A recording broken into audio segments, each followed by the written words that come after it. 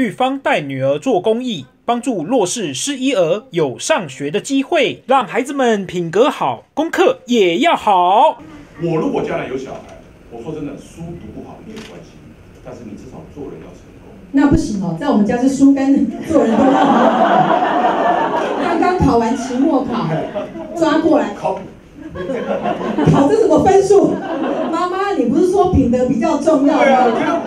我觉得品德比较重要啊。品德很重要。妈妈花那么多钱让你念书，不是成本概念的问题，你从小就要有成本概念，对不对？所以成绩也很重要哈，然后这个品德也很重要。干嘛一定要分开啊？当然可以一起同时并行啊，，对不对？那如果只能选一个，品德很重要。